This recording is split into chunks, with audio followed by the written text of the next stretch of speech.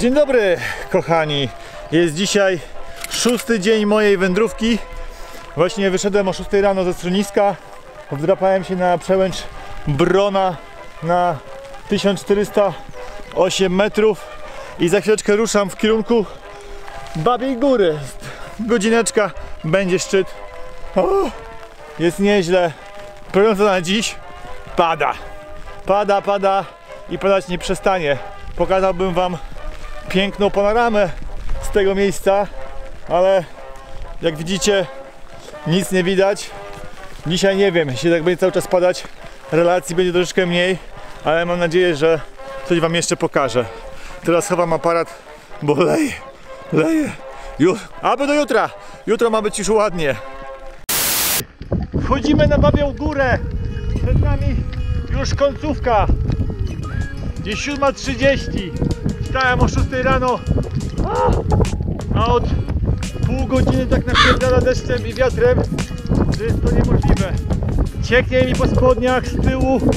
Mam mokrą kurtkę w środku. Ale damy radę. Chodźcie ze mną.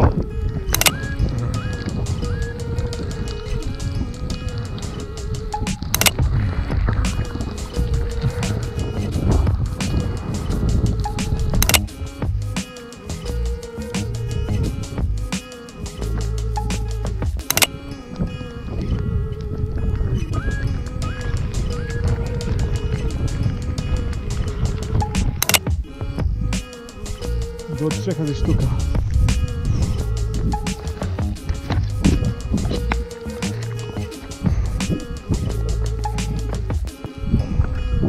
Żeby nie było, Babia Góra zdobyta.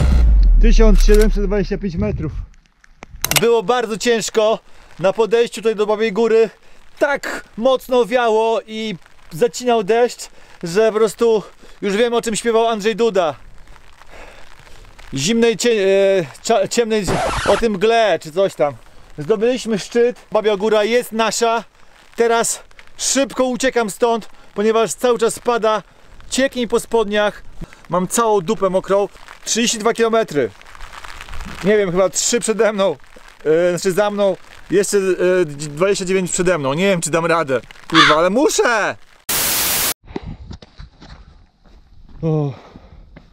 Tutaj schowaliśmy się koło drzewienia i jest trochę bardziej przyjemniej. Pomimo tego, że mam na sobie e, bieliznę z wełny marinosa, to, to i tak czuję, że przeszywa mnie chłód. Mam ze sobą rękawiczki, bo tak mi skostniały ręce, ale mam je na dnie w plecaku, bo zastanawiałem się po co jej zabrałem. Przecież jest ok, że było niby 14 stopni. O proszę, teraz jeszcze jakiś kałuże. O kurczę, dobra.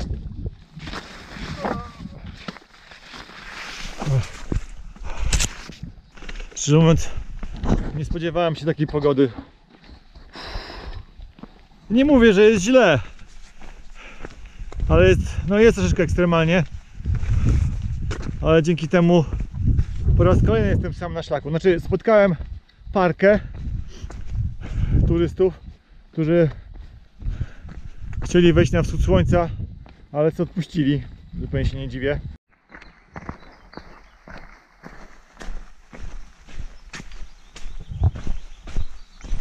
Uspokoiło się, już jest w miarę fajnie. Przed chwileczką minąłem drogowskaz, który informował, że schronisko znajduje się 3,5 godziny drogi stąd. Czy to mniej więcej będzie moja e, 5, 6 godzina marszu. No, będę koło tam 13. Więc e, myślę, że to będzie idealny czas na zjedzenie ogromnego obiadu. No zejście tymi schodami z Babiej Góry, powiem szczerze, że obciąża strasznie nogi. Zatrzymałem się na chwileczkę po to, żeby e, zjeść swoje pierwsze śniadanie, bo wychodząc rano, rano ze schroniska niczego nie zjadłem.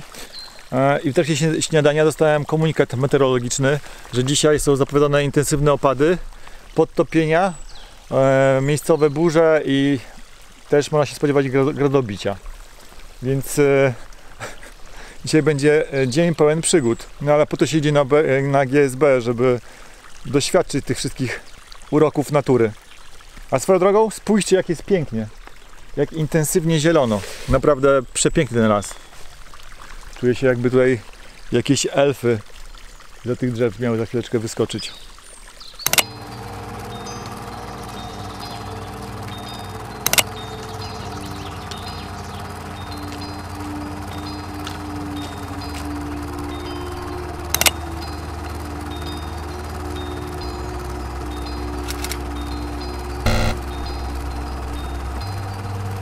Właśnie zdobyliśmy kolejny mini szczyt, stylec, jakoś tak.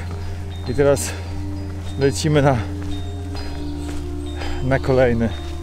Jestem bardzo ciekaw, jak się będzie wędrowało, jak wyjdzie słońce i ta cała wilgoć zacznie parować. Myślę, że wcale nie będzie lepiej niż teraz.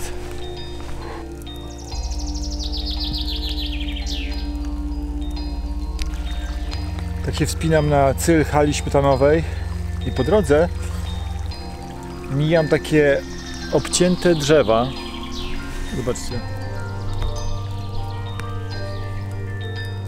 Na wysokości dwóch, dwóch i pół metra. O. Jestem bardzo ciekaw skąd taki pomysł na przycięcie na tej wysokości. A swoją drogą chciałem Wam nakręcić ptaszka, który o, jest tutaj. A, może Wam poleciał. Ach, śpiewają przepięknie te ptaszki tutaj. Może zaczekam jeszcze sekundkę, może wróć. Bo się sobie tutaj na kamyku, na tym słupku. Się tu na gałązce na wy, wyżej. Zobacz jaki klimat. Znaczy macie już powinien dosyć, bo cały czas wam pokazuje zamglone drzewa. Ale jest naprawdę niesamowicie bajkowo. Słyszycie jak śpiewa? O, jest tam.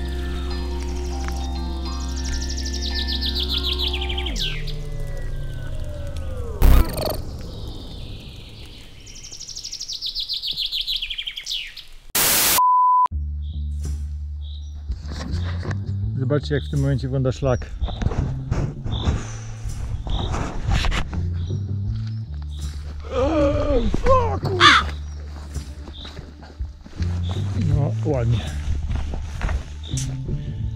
Zapadłem się powyżej kostki. A kurwa. Dobrze. Przeżyjemy. O Jezu, to jest po prostu bagno.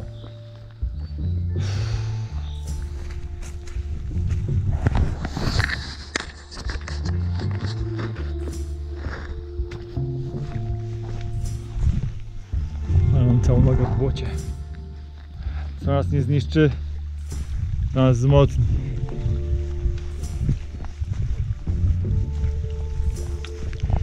Chyba 4 km nam zostały do schroniska.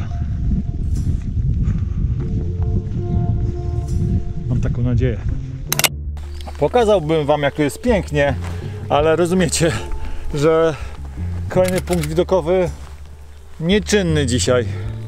Więc po prostu będę szedł dalej, nie zatrzymuję się.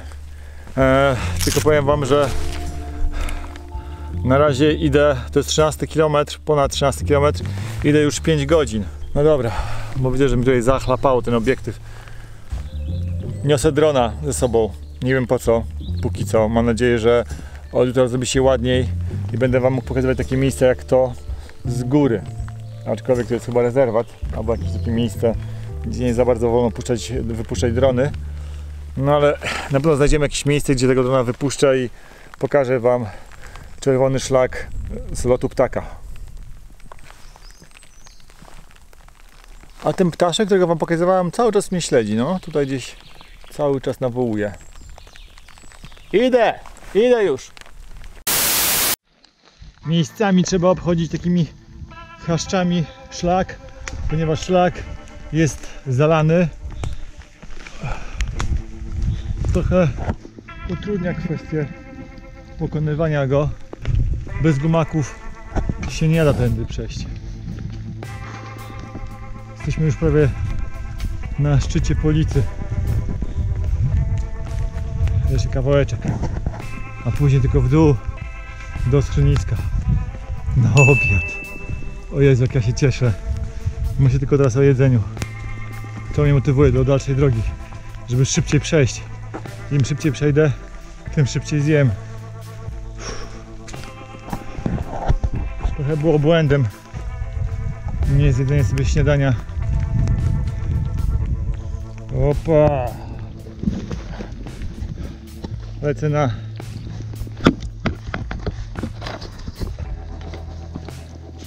lecę na garści garści orzechów i odrobinie e, czekolady. Ale jest taka pogoda, że na tym się nie chcę zatrzymywać, żeby sobie ugotować coś. Zjadłbym pizzę. Jesteśmy już niedaleko szczytu Policy. Znaczy myślałem tak kilka razy już. Wygląda to troszkę inaczej niż na Babiej Górze. Jest bardziej złowieszczo. Opadłem z sił troszeczkę. Mam leciutki kryzys. No mam problem, żeby trzymać tą kamerę tak przed sobą na wyciągniętej, na wyciągniętej ręce. Przydałoby się trochę słońca. Zobaczcie.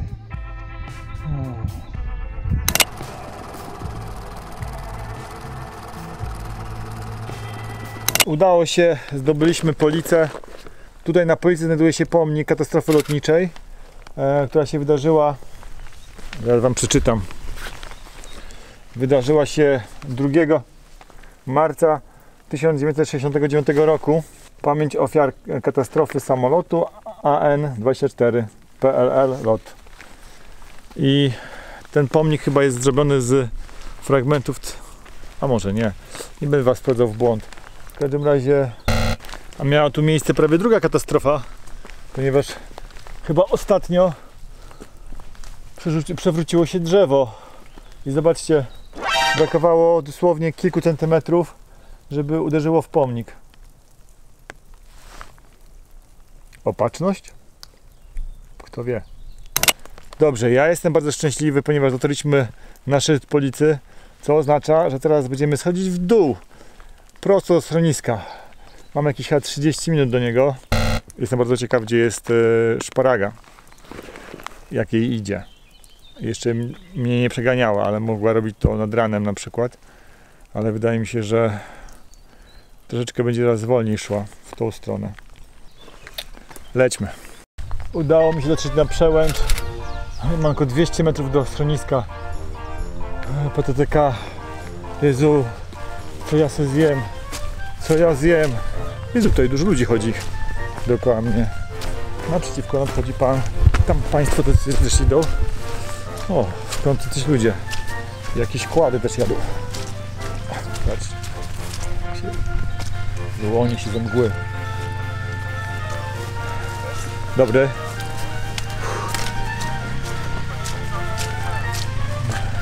Zobacz.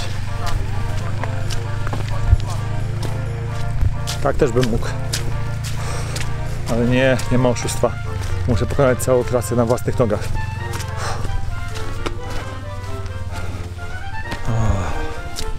Już niedługo, już niedługo. Ale się cieszę na ten widok.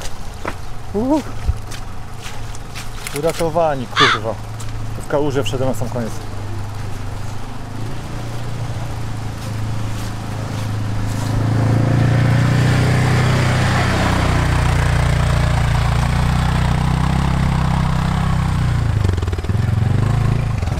Właśnie wyszliśmy ze schroniska, lecimy na halę malinową i właśnie przed sekundką spotkałem jednego chłopaka, który właśnie idzie GSB, tylko że w drugą stronę i mówi, że że no za jakieś 200 km czeka mnie niezła przeprawa przez bagno, że będzie tam, mówi, że to co tutaj jest, to jest jakby nic, że tam będzie po prostu błoto po, do połowy łydki. No liczę na to, że za 5 dni tam już tego błota nie będzie, że będzie ok. No i też mówił, żeby, że w Bartnej, w Bartnym schronisku PTK jest jakiś dziwny w ogóle koleś, który to prowadzi i wyrzuca ludzi ze schroniska, żeby tam nie wchodzić i nie nocować, tylko szukać gdzie indziej. Więc zobaczymy. A, jeszcze mówił, że, że tam koleś, któremu zeszło że mu zeszło 9 paznokci z, e, z palców u stóp. Ja mówię, że to nic dziwnego, brodząc w tym błocie i tak dalej. Więc mam nadzieję, że mnie nie spotka żadna jakaś e, kontuzja, że będzie ok. No a w schronisku sobie zapodałem pomidoróweczkę, pierogi ruskie i szarlotkę. No i tak czuję, że jest lepiej, ale jak założyłem kurtkę i wyszedłem ze schroniska, to poczułem taki ziąb. No i myślę sobie, że, że muszę zasuwać pod górę, żeby się rozgrzać. No i naj- najgorsze jest to, że mi się telefon rozładowuje. Mam 9%, nawet może już teraz mniej. Nie mogę go podpiąć do ładowania, bo jest wilgotny port USB. Więc y, teraz nie będę mógł używać żadnych aplikacji i nawigacji, tylko mapę papierową. No więc zobaczymy. Niech się dzieje przygoda. Dzień szósty.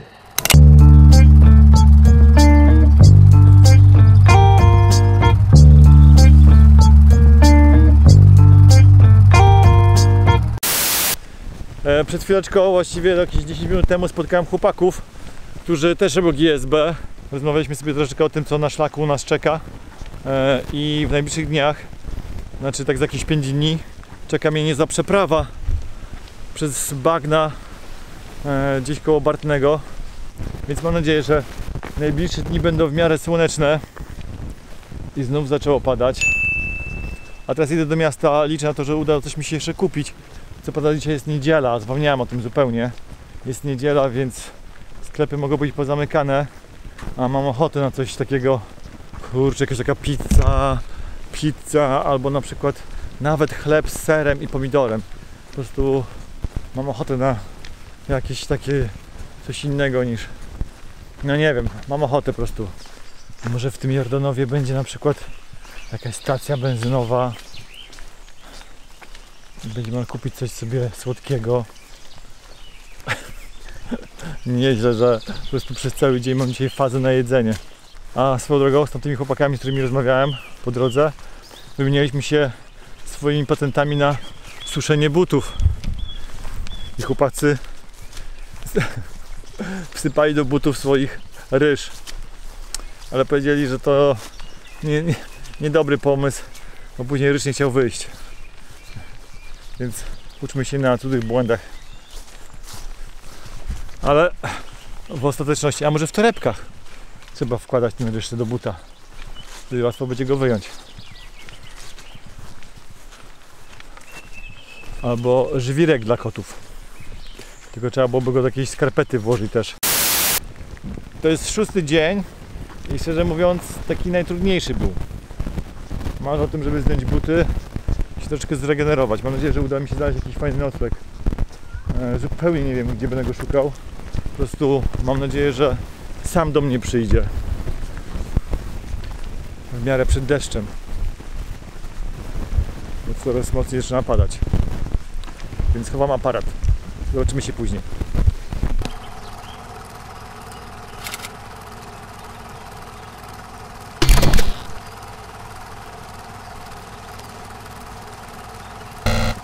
On też idzie na GSB. Ale jemu to się nie śpieszy.